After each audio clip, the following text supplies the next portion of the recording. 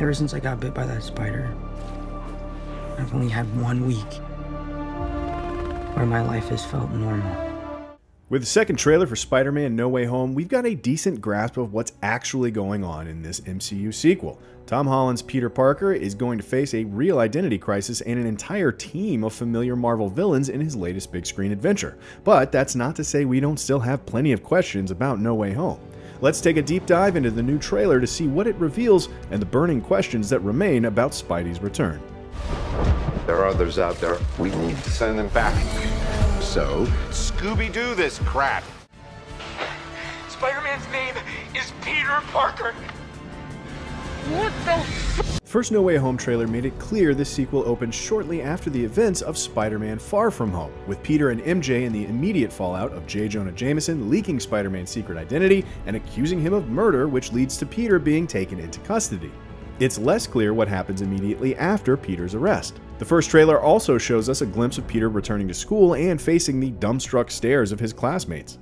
The second trailer mostly skips over this material and focuses more on Doctor Strange and the invading villains. It would seem Peter is able to deal with the immediate legal fallout of being outed by JJJ, leaving him to pick up the pieces of his personal life. The question is how, and who might be helping Peter Parker win his freedom?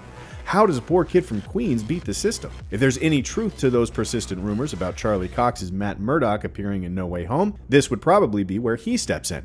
Another possibility is we could meet Tatiana Maslany's Jennifer Walters ahead of her debut in the upcoming She-Hulk series. However, it's just as likely the movie will have a simpler explanation for this question. Aunt May is dating Happy Hogan, former personal valet to one of the richest men in human history and one of the few people that knew Peter's secret before the rest of the world did. Happy probably has plenty of resources of his own for situations like these. What's happening? They're starting to come through, and I can't stop them. Even after two trailers, we're still unclear how exactly the multiverse factors into the plot. We know villains from the past Spider-Man movies like Alfred Molina's Dr. Octopus and Willem Dafoe's Green Goblin are making the jump to the MCU. We don't know whether Peter himself will visit other worlds over the course of the movie. The title would seem to imply as much. We know the plot hinges on Doctor Strange casting a spell to make the world forget Spider-Man's identity, only for that spell to go haywire and weaken the barriers between universes. Even as we see these iconic villains enter the MCU, Spidey himself may be lost in the multiverse and trapped with no way home. But if that is the case, we see little evidence in this footage. Apart from a few shots showing us that trademark Doctor Strange dimension bending magic, most of these scenes look to be taking place in the MCU as we know it. So, will Spidey be traveling to other worlds, or will this film be more akin to Spider Man Into the Spider Verse, where the action is mostly confined to one world?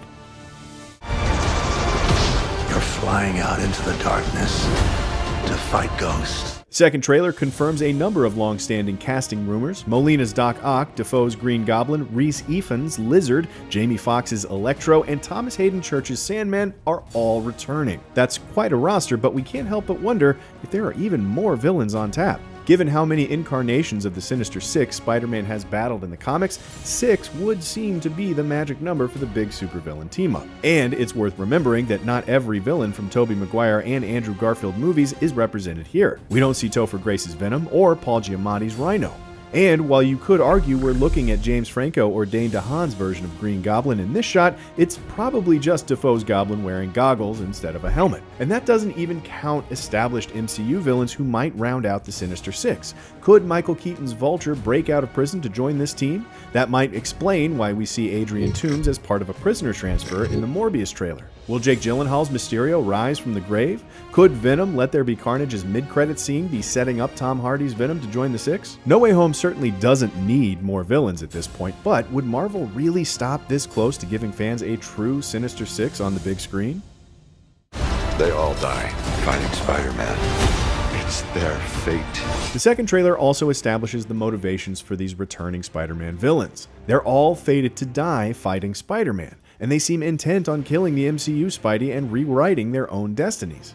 The problem is, this logic doesn't apply to every character. Of the five, only three actually died in their original movies. Lizard survives his clash with Andrew Garfield's Spider-Man in 2012's The Amazing Spider-Man, and not only does Sandman survive the events of 2007's Spider-Man 3, he and Peter make peace with each other in the end. What reason would he have to hate Spider-Man now? This raises the question of whether some of these characters might be from universes other than the Maguire verse or Garfield verse. Foxx's Electro also looks quite a bit different from his original appearance. Do these characters hail from alternate universes where the events of Spider-Man 3 and The Amazing Spider-Man played out differently? Another possibility is that some of these characters are being manipulated into hating Spider-Man. We could easily see Dafoe's Norman Osborn taking advantage of the situation. Maybe Osborn craves revenge for the death he knows is coming, and he's tricking Sandman and Lizard into thinking they're doomed to meet similar fates. Ironically, Osborn doesn't realize he has no one to blame but himself for his death in 2002's Spider-Man. Godspeed, Spider-Man. And while this isn't the biggest question raised by the new trailer, we're intrigued by a scene showing Dr. Octopus's tentacles covered in red nanotech. What exactly is happening here? We see two possible theories. Both of them involve the Iron Spider suit bonding with the tentacles. Either Ock is absorbing the suit and upgrading his signature arms, or Spidey is controlling his armor to shut down his foe's weapons. The latter theory may explain why Ock can later be seen locked away in Doctor Strange's Sanctum Sanctorum. You're struggling to have everything you want. If you've been following the news around No Way Home over the past couple of years, you've for sure heard the rumors about Tobey Maguire and Andrew Garfield reprising their respective Spider roles. Even ignoring the rumor mill entirely, it's not exactly a giant stretch to assume some familiar Spider-Man might be joining the fun alongside these classic villains. The new trailer gives us no direct confirmation on that front, but there are some telltale clues that Marvel and Sony are trying to hide some major surprises. Take this shot for instance. We can see Holland Spidey charging into battle against Sandman, Electro, and Lizard, but neither Electro nor Lizard seem to be leaping at Spidey directly. We could easily believe there are supposed to be more Spider-Man in this shot who have been edited out. It would hardly be the first time MCU trailer footage has been doctored to hide major spoilers. Even more telling is the fact that the Brazilian version of the trailer shows Lizard seemingly being punched by an invisible character. Either Spider-Man is teaming up with Drax in this movie, or someone was edited out of the frame. There's no guarantee Marvel and Sony are trying to cover up a Spider-Verse team up here. If those Daredevil rumors are true, it's entirely possible he's the character being CG'd out of this footage.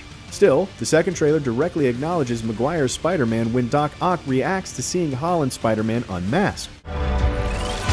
You're Peter Parker. Ock has a history with a different Spider-Man. Why bring it up if Maguire isn't going to appear in the film? Why introduce these villains if No Way Home isn't going to fully commit to the Spider-Verse concept? Why would they pull a Ralph Boner again? You're Ralph Boner? Whatever happens, don't be surprised if Holland isn't the only actor decked out in red spandex this time. Spidey is going to need a lot of help dealing with this new threat, and who better to help than more Spideys? For more about Spider-Man No Way Home, check out our story so far on all of the returning villains. And for everything else, keep it locked to IGN.